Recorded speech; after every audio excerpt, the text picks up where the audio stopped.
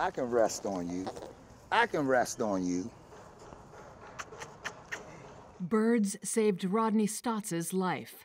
Once a drug dealer on the streets of Washington, D.C., Stotts is now one of only a few black master falconers in the U.S., his life dedicated to the conservation and care of birds of prey. Uh, I used to tell people I went from flipping birds to flying them because when you sell coke, kilos of coke, they call that flipping birds. So I went from flipping birds, selling cocaine, to flying birds. And the destruction that I used to cause in that life, I'm just trying to make up for it in a sense. As a 20 something living in one of D.C.'s roughest neighborhoods, Stotts had little hope for his future.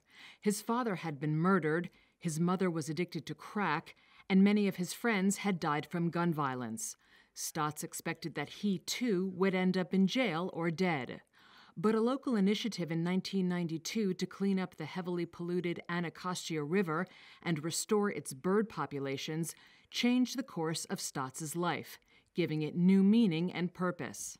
You can throw away your life in a split second. You know, just that split second decision, you threw your life away.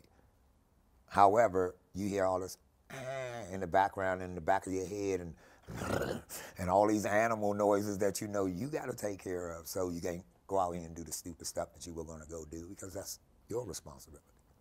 The River Project's leader, conservationist and filmmaker Bob Nixon, says his colleagues were skeptical when he first recruited Stotts and others from his neighborhood 30 years ago. Some friends of mine was like, I want to go down and recruit these people. They're like, why would you go there? Public housing? Like, I don't think that anybody there is interested in nature. They just have to survive. I'm like, um, let me find out. Stotts had to pass a state test to become a master falconer, ensuring that he knew the ethics of the sport, how to identify, trap, and care for the birds, and how to later release them back into the wild.